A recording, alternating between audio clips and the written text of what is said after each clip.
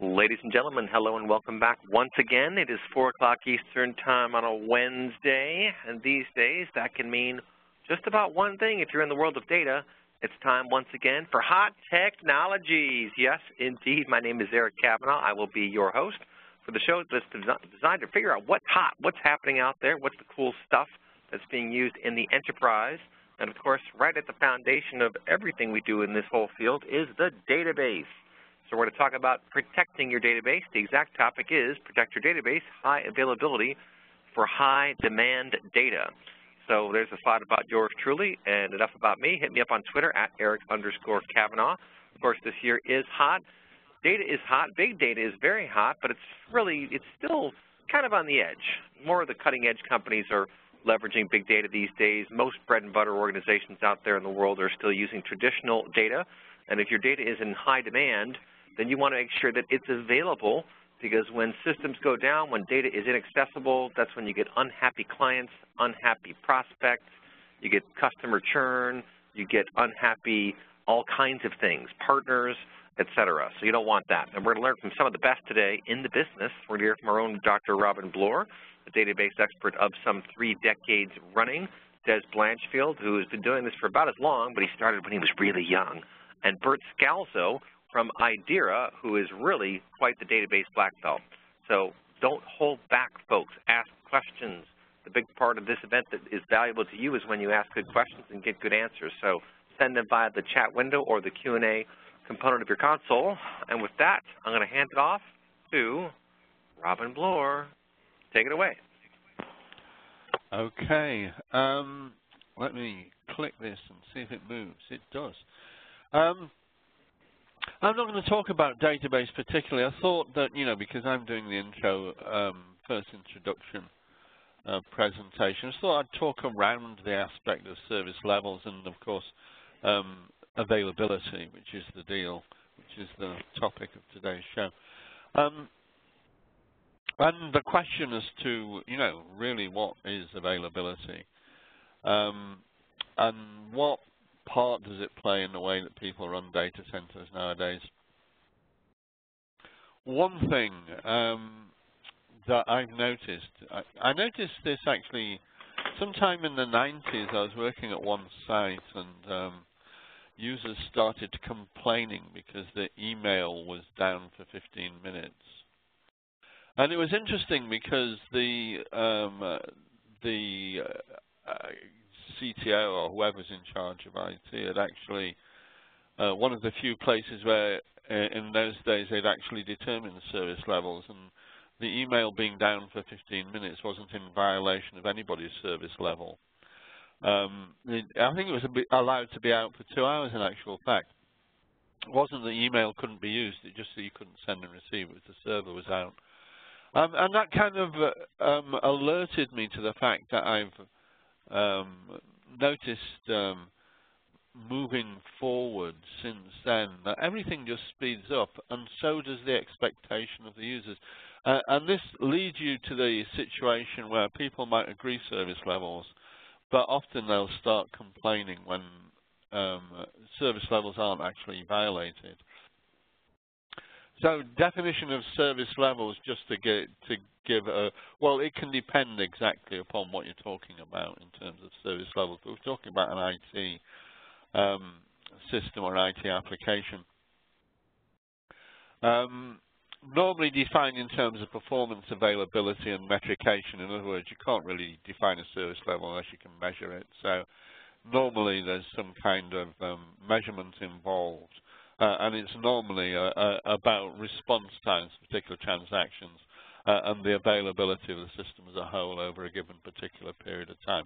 And, you know, before about 1994, 95, it was really rare that any systems were required to be available for more than normal working hours. So, you know, let's say 8 in the morning till 6 in the evening to give it a, a, a normal span. And people built systems that way. And then, uh, and that meant that in one way or another, particularly with the database, um, you could um, configure the database in a particular way. And then as the batch window started to shrink, the need to think again started to arise with some systems and then other systems. And then we got um, the advent of service-oriented architecture, which started to make dependencies between systems that hadn't previously been dependent upon each other, making everything even worse. Um, and we, we got this squeeze in terms of uh, the availability of systems. Um, the a point worth making is when you're talking about availability, it includes backup and recovery, and includes DR. You know, it, it's like it's not just availability in the normal times.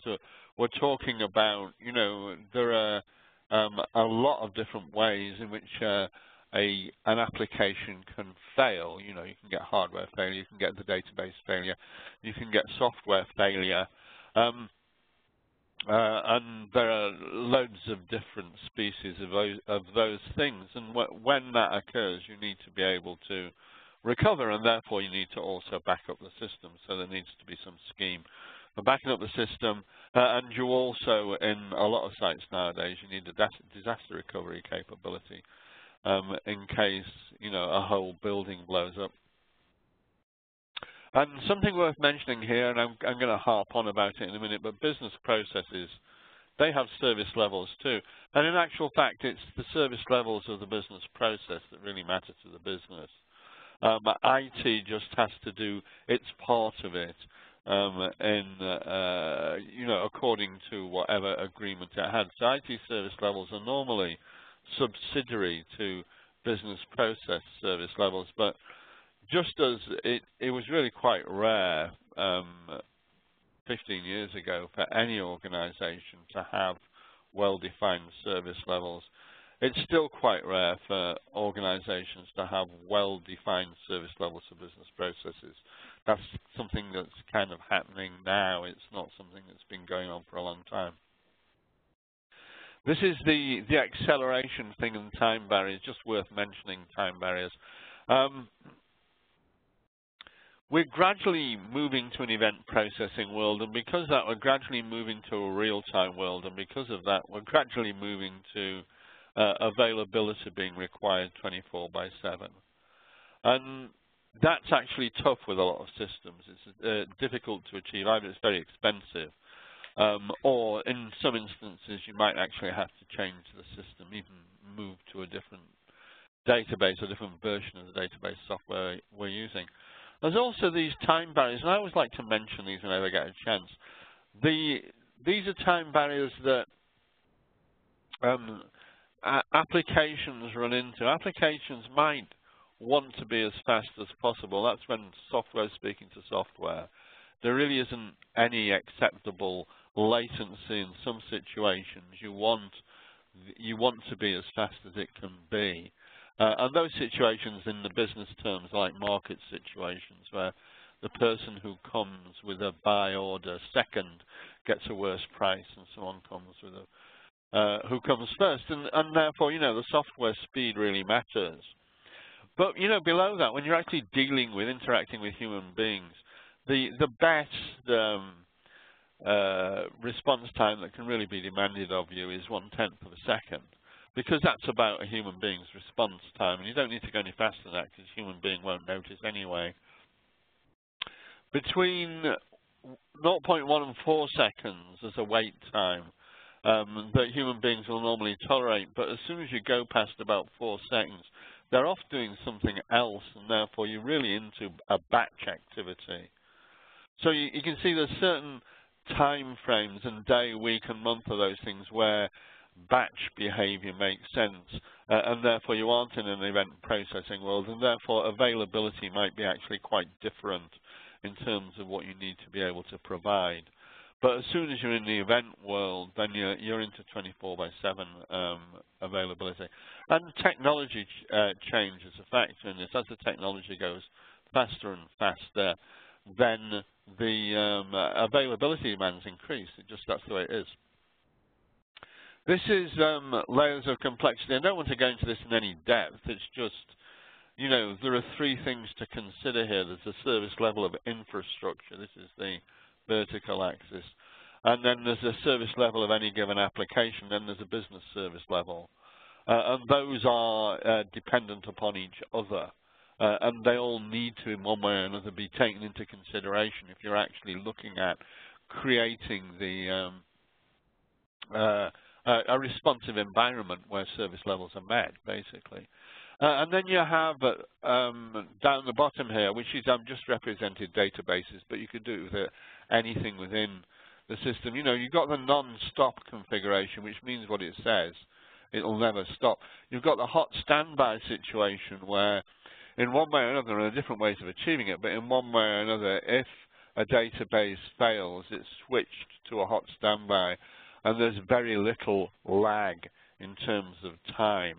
Um, uh, to the point where users, well, they probably would notice, but they wouldn't notice much.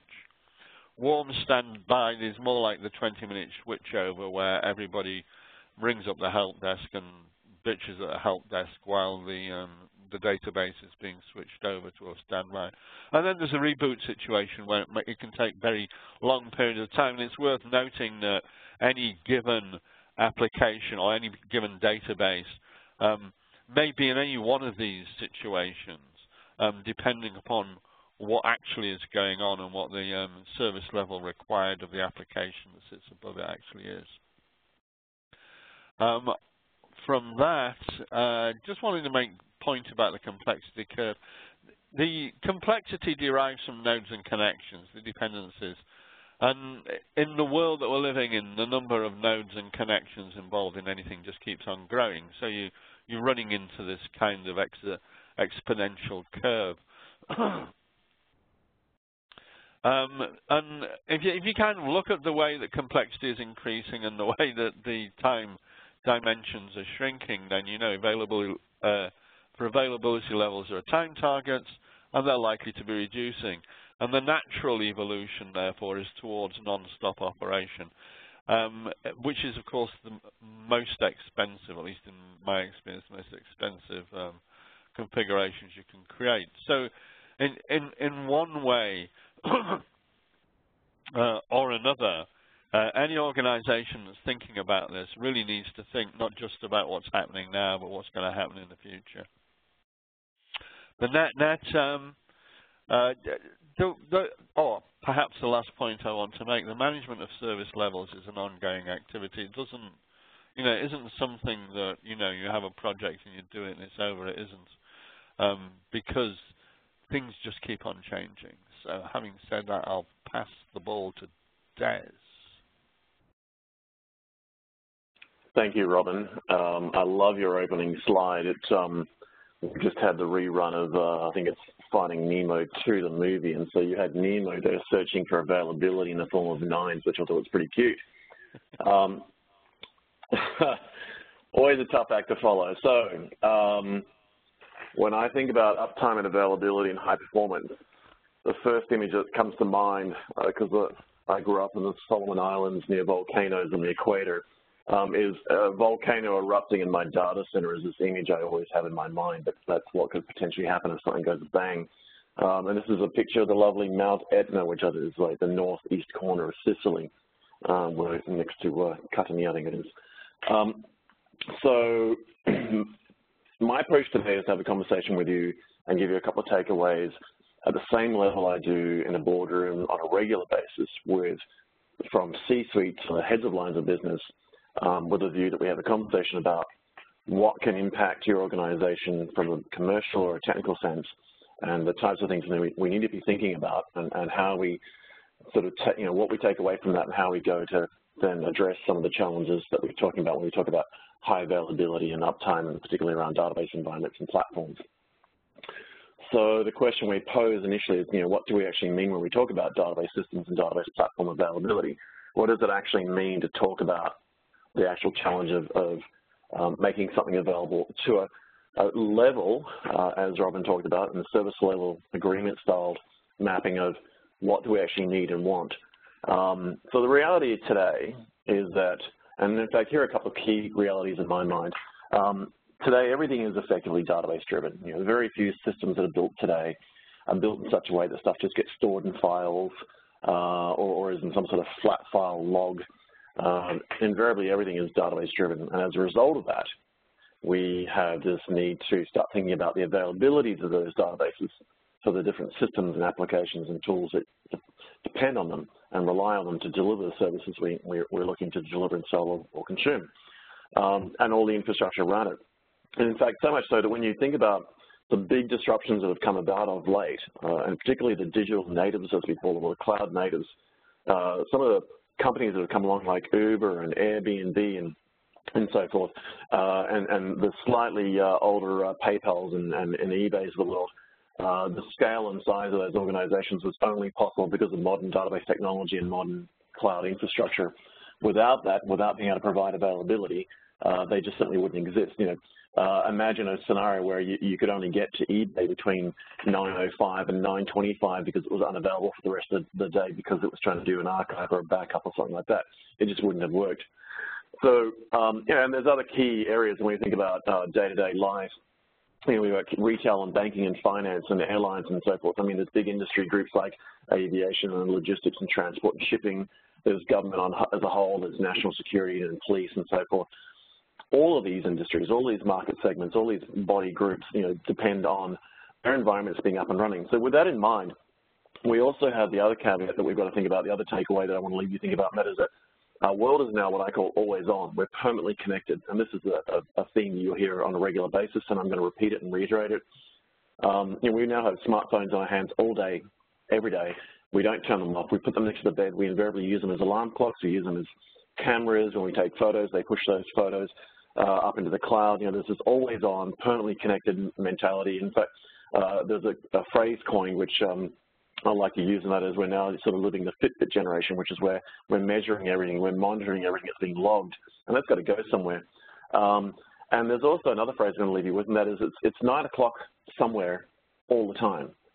It's a 24-7, 365 world we live in. You know, the Earth constantly spins around the sun, and at some point in time, every hour of the day it's 9 o'clock, and that means people are getting out of bed and trying to do stuff, buy things, sell things, etc. Um, so what do we mean when we talk about high availability? Well, it, it, sounds really obvious until you start to dive into the detail. Um, so, you know, when we think about, okay, what does high availability mean? Well, the reality is there's no silver bullet. Um, it is quite a complex concept, you know.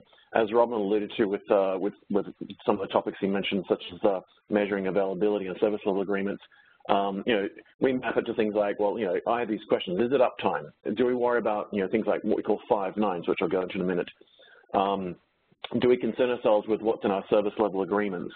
Um, for example, in service level agreements, I mean, SLAs, um, the three-letter acronym for service level agreements, have become more and more critical these days. Because we've gone through this whole process of on-premise and self-hosted to outsourced to third-party data centers and then outsourced managed services, and now we've gone all the way to the cloud. And um, the reality is that you know, when you talk about cloud, it's, it's really just other people's computers.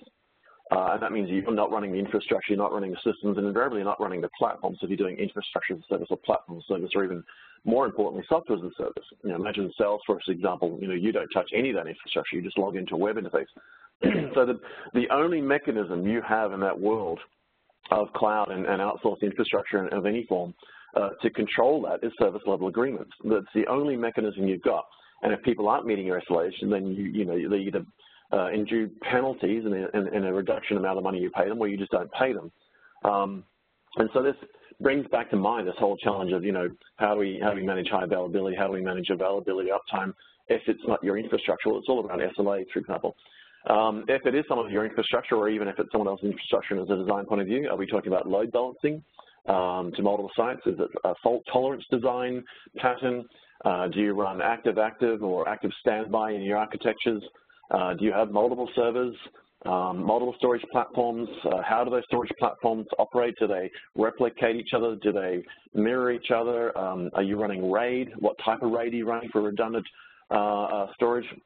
Are you running uh, RAID at the disk level? Are you running an object storage platform uh, that replicates across multiple uh, uh, drives and multiple systems and drives. Um, is it N plus one for every little piece of infrastructure you've got? Do you add another one? And is it in the same data center, or another data center? Have you built a design pattern that uh, accounts for no single point of failure, for example? All these fundamental things, and they sound like simple concepts, but when you get into every uh, each one of these things, they are very, very detailed things. When we talk about availability, we invariably end up talking about nines. And what do we mean with nines? Now, we've all heard about these, but let's just think about what they mean for a minute and why they're important. So we talk about one nine, which is just 90% availability. Now, that sounds very high. But when we talk 24 by 7 by 365, if we just look at one year, for example, when we talk at one nine, which is 90% uptime, um, that allows for 36 and a half days of downtime a year. So let's just round that to just over a month. Now think of any business that we deal with every day, uh, whether it's our online banking or eBay or PayPal or social media platforms like LinkedIn Twitter or whether it's just a general retailer or let's say I wanted to book a flight to come to the US uh, from sunny old Australia. Would I be happy if I want to come to America in a week's time if my favorite airline was down for 36 and a half days because their service provider said, hey, look, we're up 90% of the time? Of course I wouldn't. And as you go up this model, you know, 2.99%, well, it becomes 3.65 days, roughly three and a half days downtime a year. Is that a big deal? Well, it is if you're running uh, Black Friday and you're running a sales special and people can only buy during those couple of days. Three nines becomes uh, as little as 8.7 hours a year, but even 8.7 hours a year, if it's a consecutive uh, uh, uh, non-stop eight hours of out time, well, that, you know, in banking and finance and in health, uh, you know, if it's a hospital, well, that, that could cost lives. And as you climb up, the, you know, four nines is, is 52 minutes, five nines, five minutes, six nines is basically 30 seconds.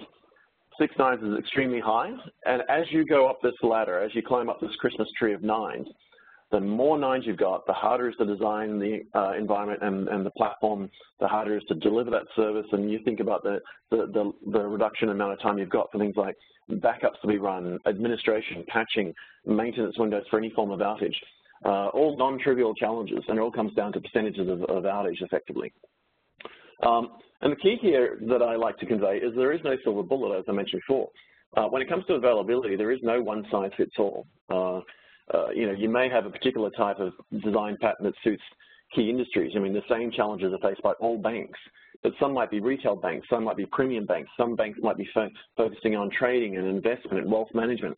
Uh, some might just be purely consumer. Some might be internet facing only and not even have tellers and, and only deal with ATMs when they're dispensing cash.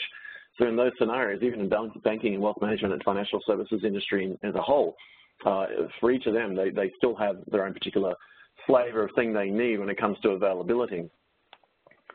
Um, so, you know, when you think about availability in plain English, um, you know, the mix between availability and high availability, uh, we think they are the same thing, but they're actually chalk and cheese. Availability is really just, a, and here I put it in plain English, a measure of time that a server or process functions normally or generally for day-to-day -day usage.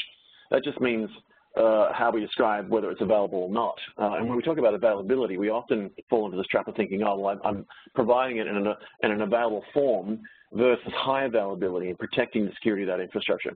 High availability, in another sense, in plain English, is a design where you implement or achieve some sort of outcome and availability of data in particular, where almost all the time, 24-7, 365 days a year, that availability gets to some of those nines. Uh, now, invariably, it doesn't mean 100%. 100% uh, is, is technically not possible in a real world in any one environment. It's very difficult to one server and an operating system and a database on it and a platform running on that and an application you deliver it and expect it to run 100%. So then we start thinking about designs. Do we have redundancy? Do we have multiple sites? Do we replicate? But in, when you put it in plain English, it's interesting just how different the, the, challenge, the topic of availability versus high availability becomes.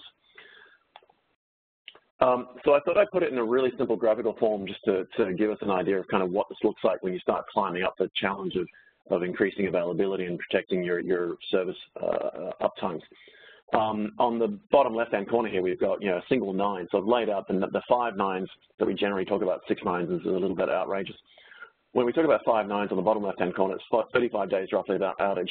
And you know it's it's a low cost and low complexity environment that you're trying to provide that because you've got you know, a number of things that can fail and you can still meet your service level agreements. But as you go along the bottom from left to right and you get to the point where there's more nines in the picture, you get these scenarios where you've got to think about replication of systems and platforms.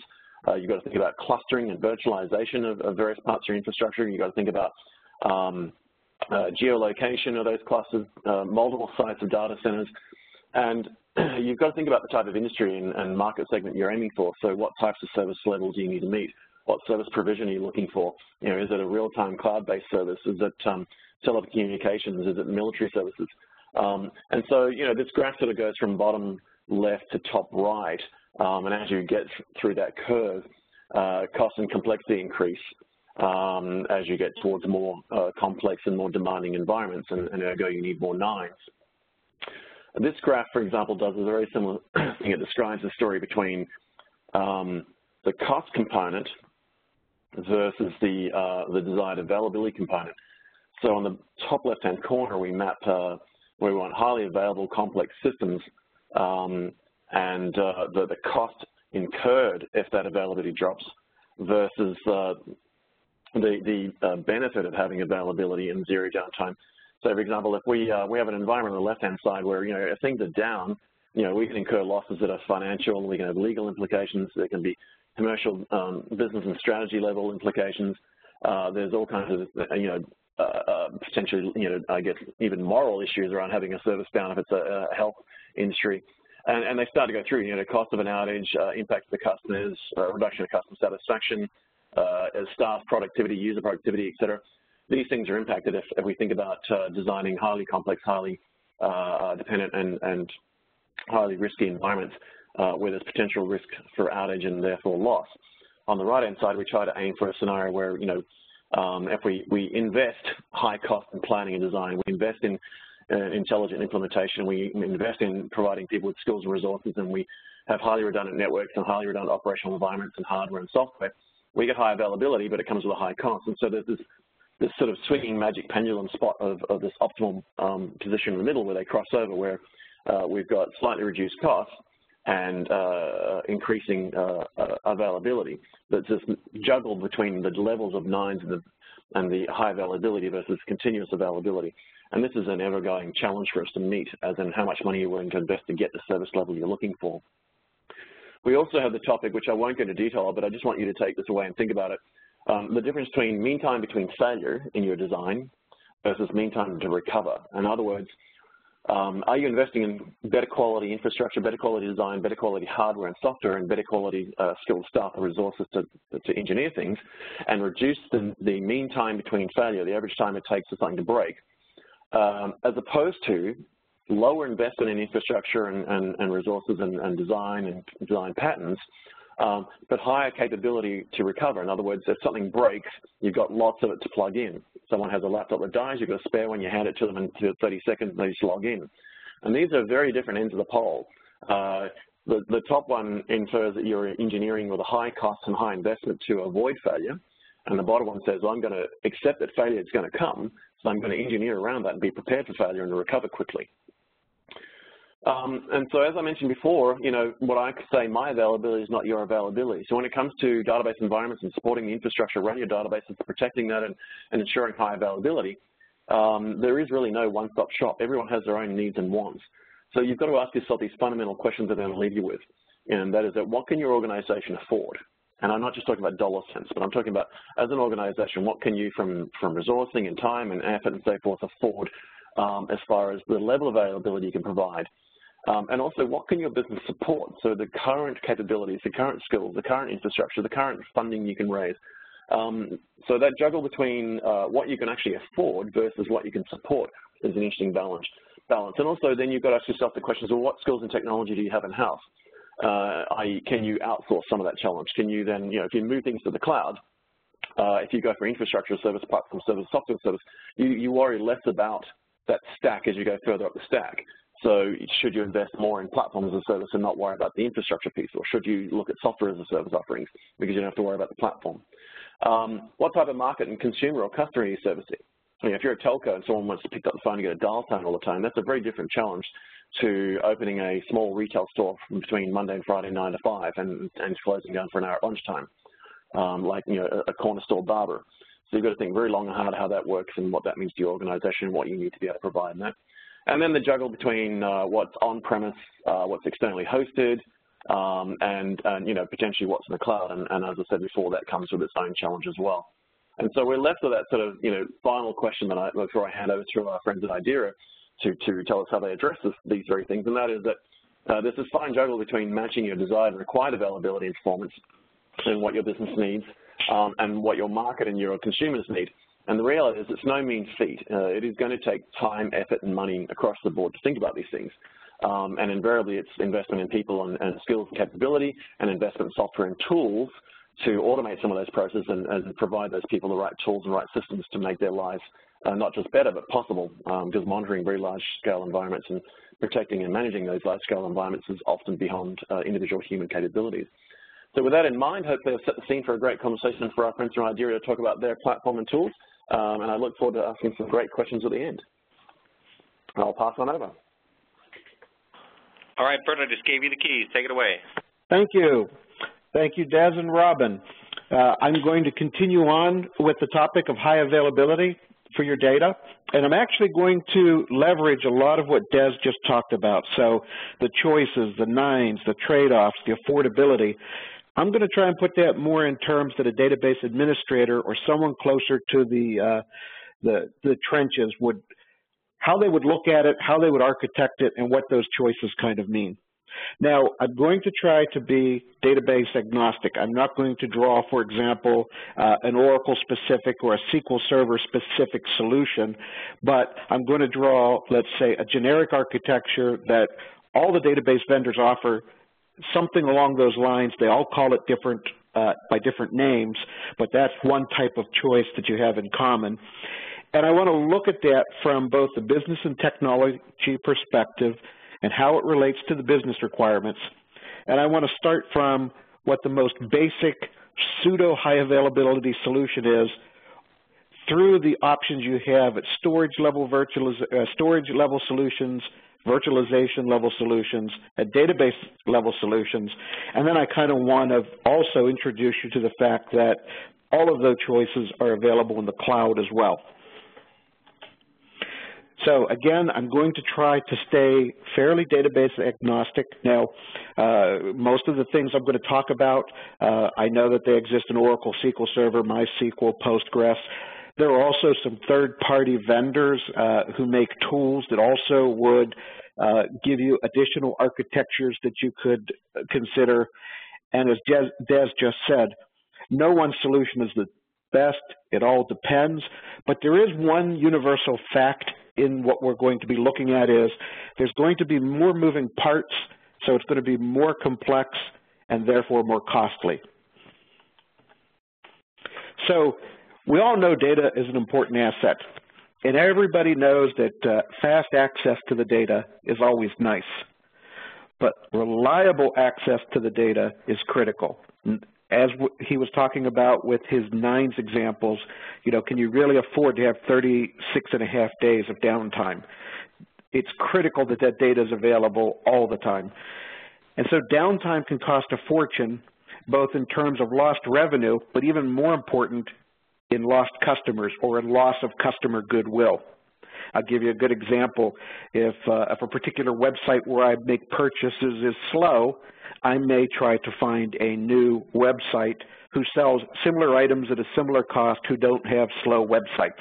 And so it's not just the loss of the customer, it's the goodwill that the customer has towards you. Now, hardware is a lot cheaper these days, so therefore there's more and more demand for high availability. And again, I'm going to uh, lead us to the cloud uh, when we look at that. And we have offerings from various levels, the storage vendors, the database vendors, the virtualization vendors, and now even the cloud vendors. And so what's really interesting with the cloud is after I draw all these wonderful pictures of these architectures that you could build, in the cloud, a lot of times it's just some check boxes you, you check and you say, I want uh, replication across geographic reason, regions, checkbox. I want uh, replication of key hardware components, checkbox. And so if you understand the pictures, sometimes in the cloud, it's just checking a few boxes to build the picture that you've got in your mind. Now the key thing is, what are the business requirements for high availability? For example, do I only have to worry about failure at a single site or do I have to have it across multiple sites? In other words, can I have one computing center and I don't care if that one center goes offline. Uh, I'm not making a business requirement that, that it spans across multiple sites. It's a business question. And, and it's important to know how the business perceives the answers to that question because that typically defines your budget. Now, you also want to look down at the level of failure protection. Uh, could it be a power failure? Could it be a component failure, like a NIC or an HBA goes bad, a host bus adapter? Is it a hard disk that goes bad? Is it a storage cabinet failure? Is it a computer failure? Or in some cases, is it a site failure that's different than uh, in some cases, you can have a site failure because the site itself is offline. In other cases, it can be that a substantial portion of the site is offline, but from your perspective, that's the whole site. And then as Dez was talking about, what's the expectation of the time to resume operations? That's a business question. If the business says you've got to be able to resume operations within two minutes, then obviously that's going to define some of these pictures that I'm going to show you will work, and some of them will not be options that you can choose. And another question that comes up during high availability, but often people forget to ask is, hey business, if something happens while I'm in the middle of processing a transaction, what am I allowed to lose upon resumption of the system? In other words, if I can bring the system back up in two minutes and I can lose no more than 10 seconds of, let's say, transactions that were in flight, is that acceptable business? And again, that will define what the business is willing to spend for that, and then again, that may define which pictures that I'm going to show you either apply or don't apply. So let's start with the most basic pseudo high availability solution. This is really not high availability, but I like to start with this because it, it gets people thinking the right way. If I've got a server and a storage array, typically I'll put multiple NICs, network interface cards in that server and bond them so that if one NIC fails, I'm still up. And I'll do the same thing with my host bus, host bus adapters. I'll multipath, go through different switches so that I, I have multiple ways to get to my storage. And I've got a universal uh, power supply and um, I've got repetitive controllers inside my storage array, and maybe I've done something like RAID 10 with my disks. In other words, I've, in this picture, I've uh, prevented single co component failure at multiple levels. So I am not bound by the NIC or the HBA or the controller or the switch. But if you notice, the server's in red and the storage array is in red. I still have two areas where uh, if they fail, if my server goes, I'm dead. If my storage array cabinet goes, I'm dead. So while this is not really high availability, it starts you to seeing and looking at the picture and saying, I want a picture where there's no red. And that's really the goal of this picture, is to get us pointed in the right direction. So the first thing that happens is, as a DBA, I, I might always want to put the um, high availability solution as a database implementation but it might be that it's available that it can be done as uh, a storage solution, or it might be that it could be a storage level replication. Um, in the case on the left, I've got storage virtualization. What's happening is I've got RAID 0 in two different storage cabinets for my disks, but I've got RAID 1 across the two different storage cabinets.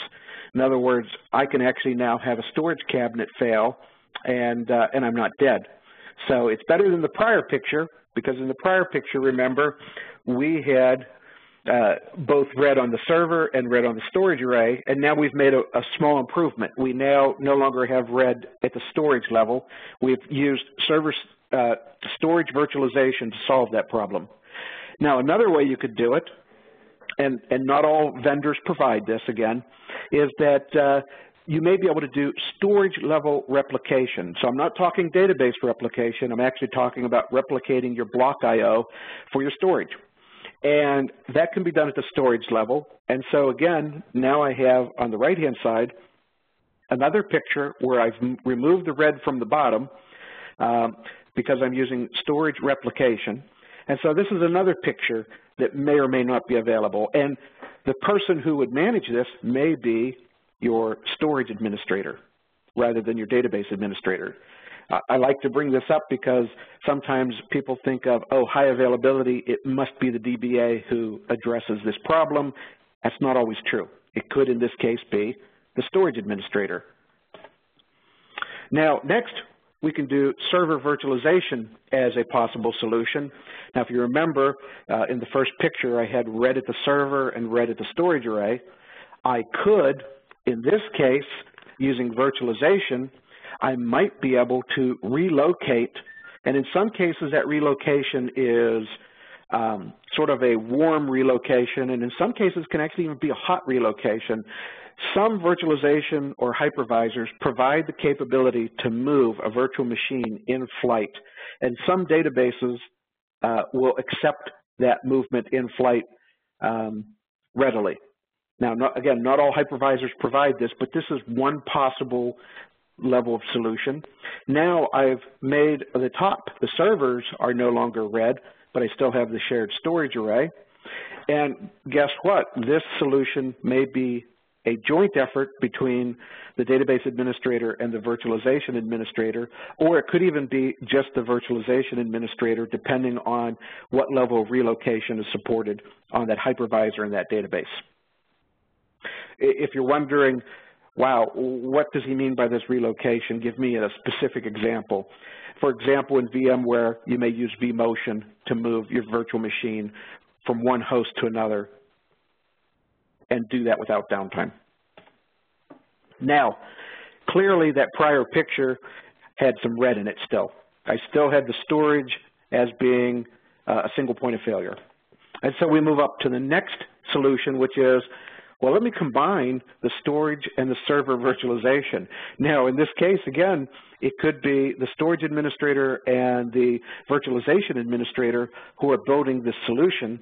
And now, look, I have a picture with no red in it. I've got high availability because I can relocate the uh, virtual machine or the, uh, the running application or database from one server to another and I have virtualization in my storage array by having it doing RAID 1 across two separate storage arrays.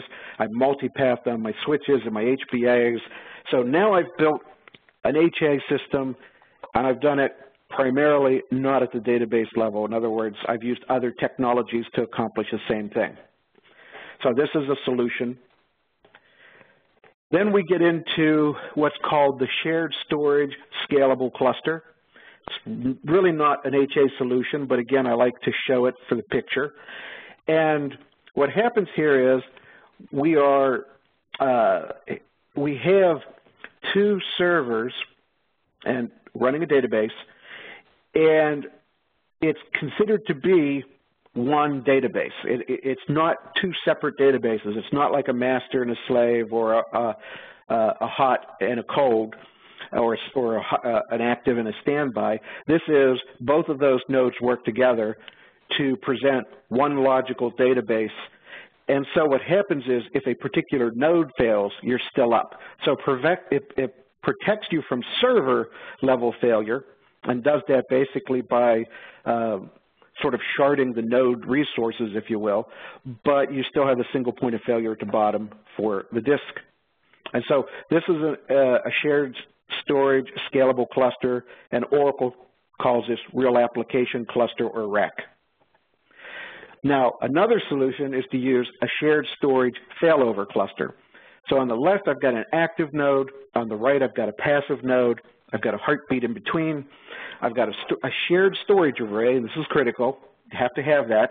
And basically what happens is if the active node uh, encounters problems, the passive node can take over. Uh, there are licensing issues to this. Uh, some database vendors allow you to have the passive node uh, with, a, with a reduced license for a fixed time.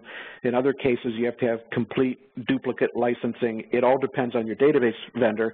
But they all support this kind of picture, which is if one node goes down, the other node can take over. And typically, this is one of those scenarios where it's sort of uh, when you go from the active node to the passive node, you are going to probably, in most databases, not all, you're going to lose some of the in-flight transactions. Now, then we get into what the database administrator really can look at, which is database replication. And there are two different ways of doing database replication. There's physical replication, and what's important is in the middle of this picture, you can see with the green star, that the replication, it's being done by the database, but much like the storage level virtualization, it's being done at the block level. So we're repeating the actual block IOs from the active node to the read-only or passive node. and this is considered to be physical replication. Now, let me go to the next slide because it's almost identical, and it's logical replication. And the only thing that changes in the picture is that in the middle, instead of sending over the block I.O., we're essentially sending over the log files with the SQL commands in it. So in other words, what we're replicating is not the physical I.O., but the commands that cause the physical I.O. Uh, and so this is often called log shipping or log-based replication. Some database vendors give you this natively. Uh, other database vendors uh, may not offer this, but then third-party vendors offer it.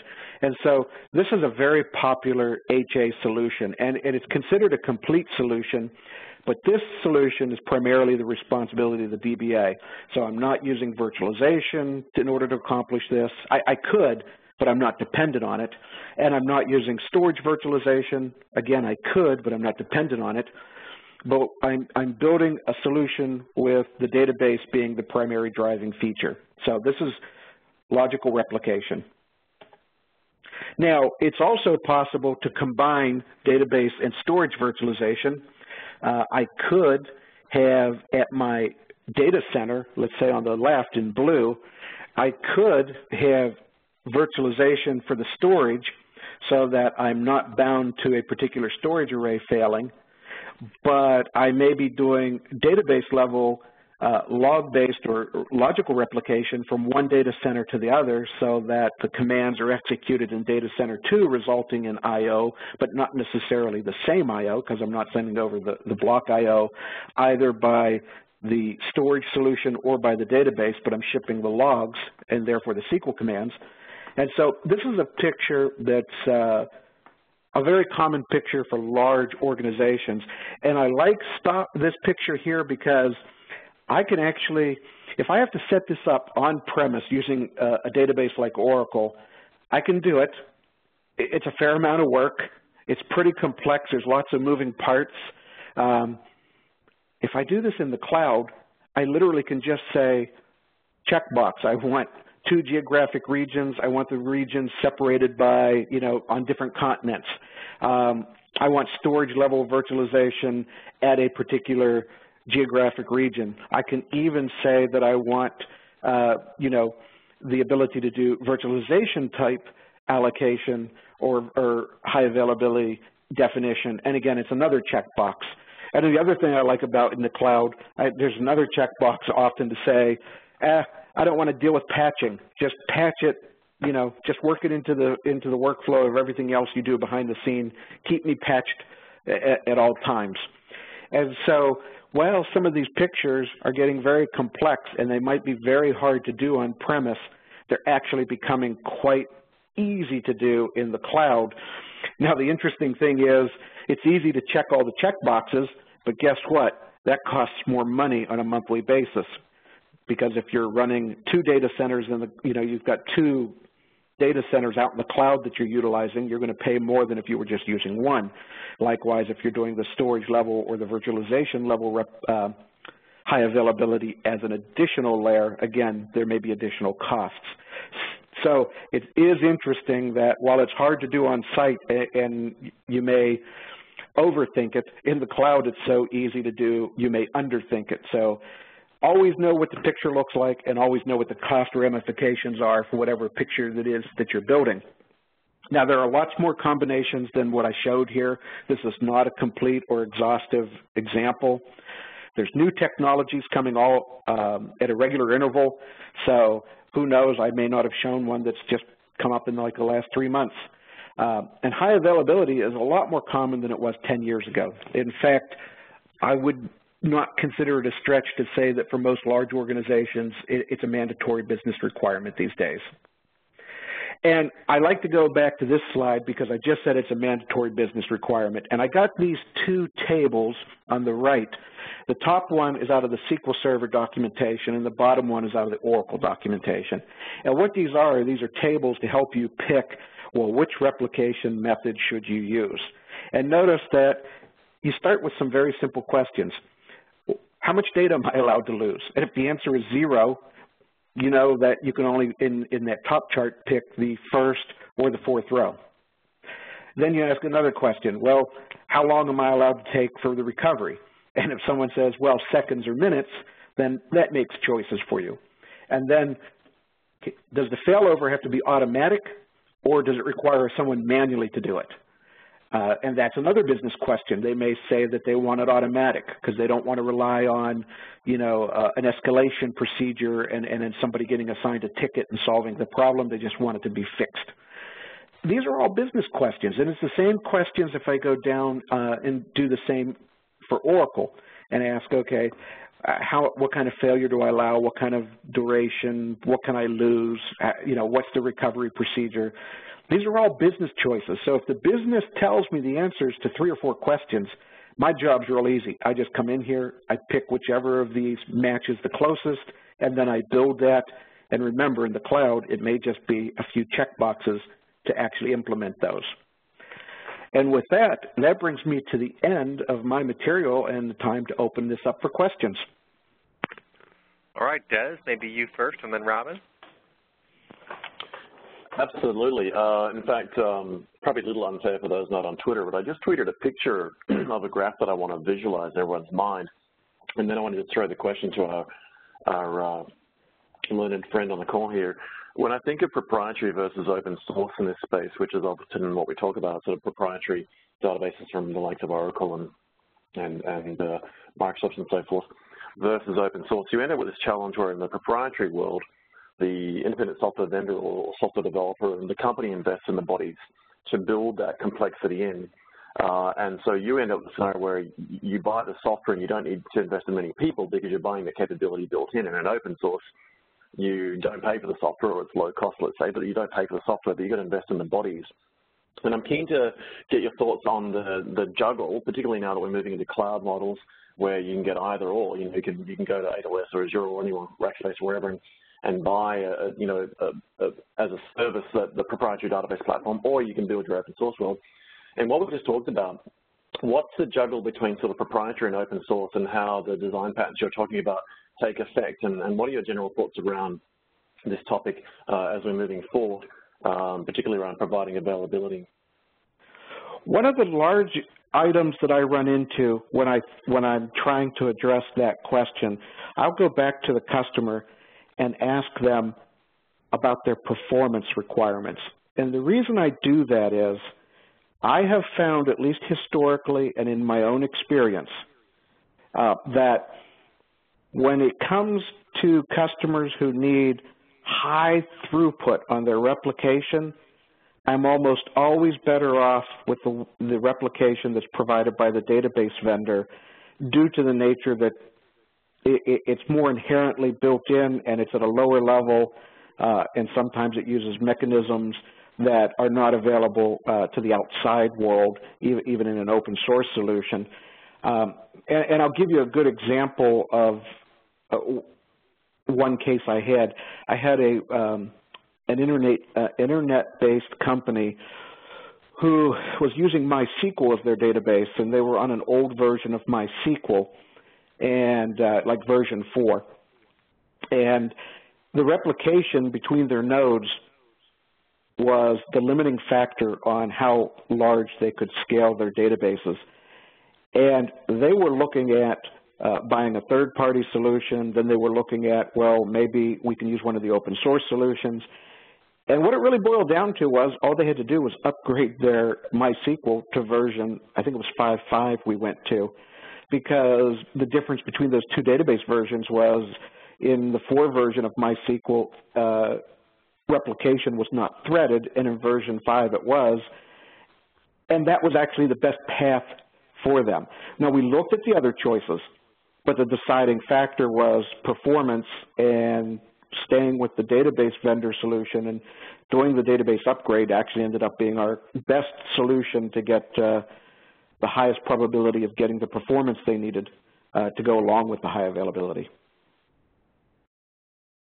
Yeah, that mirrors my own thinking, to be honest. Uh, just to, for full disclosure, um, uh, I won't go into brands, but I, you know, I've come from a, a, proprietary background working for OEMs and software vendors and ISVs in general, and, and, that's definitely been my experience. And at the same time, I'm very pro open source, and I'm a code committer to a bunch of projects we won't name, but um, yeah, I agree with you in that is that, you know, if you're, if you're a large organization, let's say you're a bank or whatever you might be, the invariably you don't want to be an IT shop. You know, like for example, if you're a, a newspaper publisher or if you're a retailer, you don't want to be a, an IT shop that publishes newspapers. You want to be a newspaper shop that actually just leverages IT. And so investing in the proprietary capabilities where the software developers build all that capability for load balancing and so forth in the, the tool makes a hell of a lot more sense uh, versus if you're like a dot-com startup or something like that that they can invest in human bodies. Um, uh, where do you see where do you see this going? My, probably my last question before I hand it off to Dr. Bloor, because I know we're running short of time. Where do you see this going from a, a, a trend point of view? So you're out there all the time, you're on the bleeding edge of this stuff. Are you seeing people have sat up and paid attention and woken up to the need to make this a commercial part of their day-to-day -day conversation way to the boardroom? Or are you still seeing it being very much the geek farm uh, the techies and the hoodies thinking about availability because it, it makes them wake up at 4 o'clock in the morning when something goes offline. Do you think the trend is swinging now to organizations of every size, not the obvious ones like airlines and, and banking and finance, but just businesses in general? Do you think people have really got now the value proposition of protecting their database environments and providing high availability and investing in that? Or do you think we've still got a way to go? Well, what's your general sense in the market out there? Right now, I think there is still a gap, but it's not a gap because the business isn't asking for it. It's a gap in the communication levels between the two sides of the fence. In other words, the business people are very clearly saying um, these applications require high availability and have these specific requirements when we say high availability. And somehow or other that message is not getting uh, clearly across to the tech people or the tech people will come back and say, oh, well, that's complicated and it'll cost you more money and this, that, or the other. I think what's going to happen is that's going to erode away finally because honestly, with it being, for example, in the cloud, just checking a few boxes here or there to say, build me this really complex technology structure, there's really no good reason for the technology people to come back and say to the business people, oh, it's expensive or it's hard to do or this or that. And the business people are starting to, to know that that's the fact. Uh, and I've even yeah. seen in environments where, you know, um, their own IT people will come and say, oh, you can't have what you want. It's too expensive. And they'll bring in a third-party consulting firm who will then say, uh, no, that's not correct. Here's how you could do it. Here's what it will cost you. And um, and then, it, you know, so I think we got a, still a little bit of time be, between the communication levels between the two sides before that becomes automatic still. Yeah, that, that's definitely mirrored what I've seen here in Australia and around Asia Pacific. I'm sure it's a global thing, and that is that uh, a lot of the key decision makers from the boardroom down, all the heads of line of business, they're a lot more technically savvy. They're, they're reading the blogs, they're watching webinars, they're tuning into various articles and podcasts, and they're going to events and forums and meetups and they now know their options, and they know cloud is an option. They also know that they can bring that, as you said, that capability in-house. And so I think there's this interesting challenge now that the conversation's got to take place, which is basically what we've done today, where people kind of start doing things internally, you know, just run brown bag lunches and have an internal briefing on what's our current state, what's our ideal state, where do we need to get to, and then sort of get that together. I had a private message, which I'm just going to quickly touch on just now. Someone asked the question, you know, is it realistic that you can get 100% availability? Um, and you might be able to correct me here, but um, uh, I'm going to say yes. I, have built a, a, platform for electronic funds transfer, uh, EFTPOS, uh, gateway between uh, SWIFT banking platforms and the EFTPOS terminals. Uh, I built this in the early 2000s. It's actually been online 100% of the time for 17 years. In fact, it was built prior to 2000s, but it went production in 2000, 2001 roughly. So the 17 years has been in place from development to testing and then going to production. And in that 17 years, um, very low-cost commodity off-the-shelf PCs running an open-source operating system for a proprietary database have been doing uh, active passive swapping every 90 days with different design patterns being applied with replication of disks in each server, replication of data between multiple servers, replication of multiple data centers, and flipping from data center A being production for 90 days and then flipping to data center B and being production. And as it flips, it automatically patches and updates. So just to the, uh, to the question I just got privately, yes, it's possible. Um, there was a lot of investment in that project in a design point of view. So the infrastructure was actually not that expensive, but the design and the testing and the implementation was very expensive to get that. So we didn't have to spend a lot of money on the hardware and the infrastructure, but we used very smart tools back in a day when cloud wasn't even a coinage. Um, so the answer is yes, it can be done. Even more so now with cloud, uh, as we just heard that, you know, with a click of a button, you can enable that capability.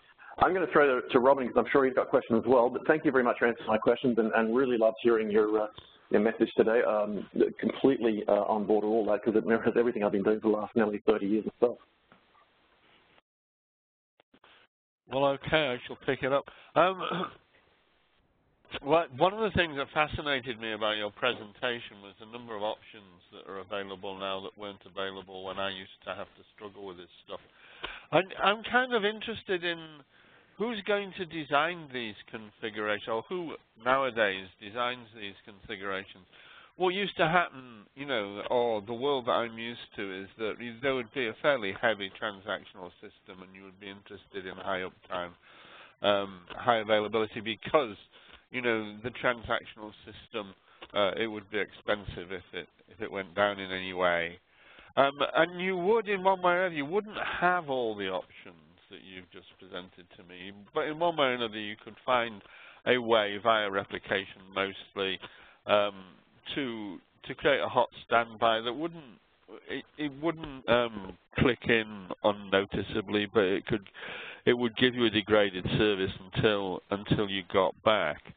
And I'm kind of looking at, uh, at what you were showing me and thinking about it, not having done any of that kind of design work for 15 years. Um, it, who's doing that work now? I mean, is, is this the um, uh, is this uh, as it was in my day, something that you you did at the onset of a project, get you know get the infrastructure right, um, or is this something that um, is an ongoing activity within an organization? Because there's an awful lot, you know, there's new technology choices that come along. In the large companies who are very efficient and effective at all of their operations, including their IT, they typically will have a centralized architecture group, or they'll have some name for it. Um, I've heard it called the architecture group a lot of times, and it will be their responsibility to know all these different pictures and what the pros and cons are and what the costs are. And what will happen is when a particular application uh, is looking and says, hey, I have to meet business requirements X, Y, and Z. Hey, architecture team, what are my choices? They will give them uh, the answer, like here's the two or three that are available, and then at that point, then it becomes, uh, it the decision moves back down to the lower level, to the application team, or to the business sponsor of the application. But typically, there's a centralized group who are staying on top of this and having that information uh, at the ready and pre-built. Now, in some medium-sized companies where it's not that formal, what will tend to happen is you will get uh, one or two of your senior DBAs or system administrators, and they will informally be, quote, the domain expert for that kind of expertise. Uh, so even in the, in the medium-sized companies, it happens. It just happens in a non-formalized structure. Okay, I mean that's really kind of interesting. Um, and in my day, we would never be thinking of high availability except for the transactional systems. Well, nowadays, of course, you've got streaming systems that are subject probably to even even greater um, demands in terms of availability. But uh, do you, in in the query-based backend analytics data warehouse BI kind of um, environment, do you ever see requirements for high availability there? Yeah, and I'm glad you asked that question. I did some work for a retail firm, and their decisions uh, uh for strategic, the, the, strategic decisions for the business were based in a large part off of the uh, analysis they would do from the data warehouse. And in fact, they were interviewed by uh, Forbes magazine, and the executive, the CEO of the company said, hey, you know, our stock price uh, grew 250% over the last five years, and a very large reason that's true is because we know how to effectively leverage our data in our data warehouse. They were so good at making business decisions that for them, the data warehouse, being able to do those analytics, being able to make decisions on a daily basis against their operational data was actually to them a production system. And I'll give you a good example of how important it is. At this particular retail vendor, the guy who was responsible for beer sales, he was like the third most important executive in the company because he brought in, you know, 60, 70% of the revenue. And so he had to be able to, in order to stay competitive in that market, he had to be able to know every day, you know, what promotion should I be running? Uh, you know, and that could be based on, you know, not just time of the year, but weather patterns and, and other critical data that can affect sale of something like beer. Wow. Well, I guess there's bound to be things like that. I, I, I think I should, because we're kind of out of time, I think I should hand it on to Eric in case there's got some questions from the audience. Eric? Yeah, this has all been great stuff, Bert. Um, we, I think you addressed all the questions that we had from the audience in your presentation, but uh, it is fun to watch. And I'm glad that you kind of talked about storage virtualization and, and how an impact, um, how much of an impact that can be. So this is all good stuff. Well, folks, we do archive all these webcasts for later viewing, so hop online to techopedia.com to look for the webcast section. All those uh, Hot Techs will be listed there. Big thanks to our friend Bert for his expertise, and of course to Dez and Robin. And with that, we're going to bid you farewell, folks. Take care. We'll talk to you next time. Bye-bye.